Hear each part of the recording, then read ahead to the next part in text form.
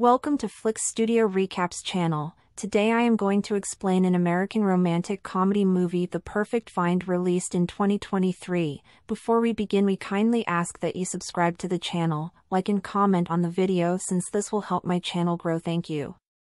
One year after being dumped by her long-term partner Brian, who was a defining figure in her life for the past decade, Jenna Jones, a 40-year-old woman, faces the additional challenge of being kicked out by her own mother. Returning to New York City, she decides to change her career path and enter the field of beauty journalism. In order to find employment, Jenna must reluctantly ask her frenemy Darcy for a job at Darzine. Surprisingly, she is offered the position of creative director on a three-month trial basis. That evening, while out with two close friends, Jenna spontaneously kisses a man who is 15 years younger than her. The following day at work, Jenna discovers that the man she kissed is Eric, Darcy's son and the new videographer for the company. Jenna and Eric find themselves collaborating on content for the magazine's subscription relaunch. They agree to keep their previous encounter a secret. However, their first day working together on a visit to the reclusive Greta Blumen turns into a disaster. They argue and spend the entire weekend without speaking to each other. On Monday, they call a truce, and Jenna invites Eric to a dinner she and her friends are hosting in order to introduce him to Jimmy, a perpetually single man with a confrontational attitude.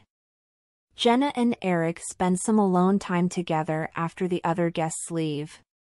The following day at work, Jenna expresses to Eric how their conversation about old films has inspired her. She proposes doing a tribute to classic couture called Perfect Find. They manage to enlist the participation of several designers who offer limited edition pieces, as well as some influential figures from the media to help promote the project. To celebrate their successful campaign, Jenna and Eric take a walk together on the Brooklyn Bridge with a bottle of champagne. Just as they agree to take things slow, they find themselves back at Jenna's place.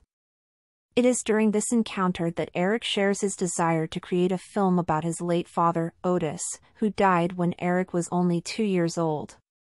In return, Jenna opens up about her past relationship with Brian, whom she met in college, as they were both high achievers and eventually became a power couple.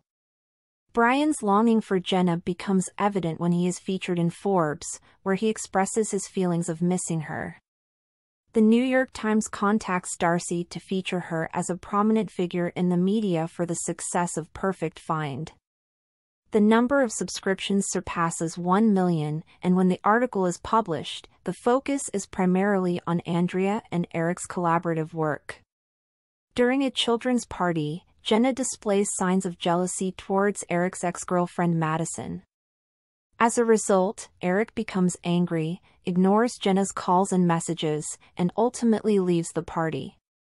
Upon returning home, Jenna finds Brian waiting for her.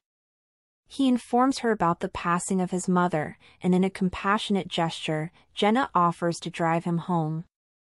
Eric witnesses this encounter but declines Brian's invitation to enter Jenna's place. The next day, Eric fails to show up for work, claiming to be editing at home. Curiosity gets the better of Jenna, and she secretly visits Eric at Darcy's penthouse. They reconcile, but their intimate moment is interrupted when Darcy catches them. Consequently, Jenna gets fired from her job, and Eric does not come to their defense. Eric moves into his own apartment and dedicates himself to working on his own film project. After New Year's, Jenna eventually convinces Eric to meet her at a cafe. She reveals to him that she is expecting a child by showing him the first sonogram. However, Eric reacts angrily and abruptly leaves. Later on, Darcy visits Jenna's apartment and announces that they are now family. Having been disowned by her own parents, Darcy raised Eric on her own but she wouldn't let that happen to her grandchild. Eric eventually accompanies Jenna to her next obstetrician appointment and discovered they are having a son after which they attend the upcoming Darzine Gala together. If you enjoyed the movie kindly drop a comment and tell us what you think about the Union and its future outcome and remember to subscribe to the channel for more interesting movie recaps.